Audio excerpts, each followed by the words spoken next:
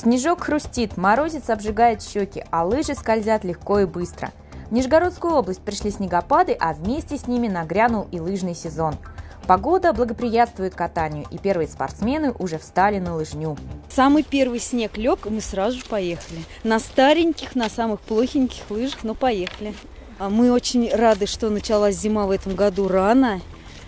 То есть мы раньше времени подготовимся пораньше к соревнованиям, так как они у нас уже в декабре, в 15 числа. С появлением снега на лыжи встает и старый млад. Нашему следующему герою 78 лет.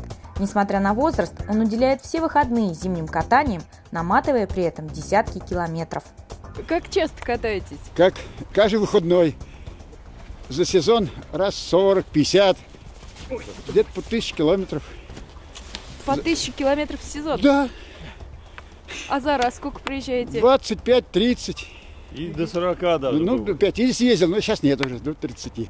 Александр Иванович решил сделать кружок вместе с сыном. За камерой он признается, что сейчас будет ехать помедленнее, потому что сын за ним просто не успевает.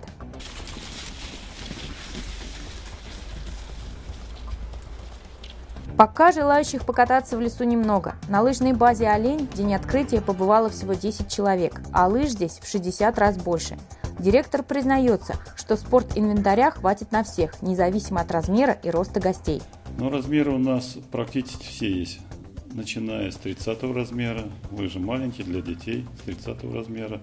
И последний размер у нас 47 размер. Лыж у нас более 600 пар. Ну, в зимний период практически у нас лыжами, ну, кто приходит на базу, обеспечиваем всех.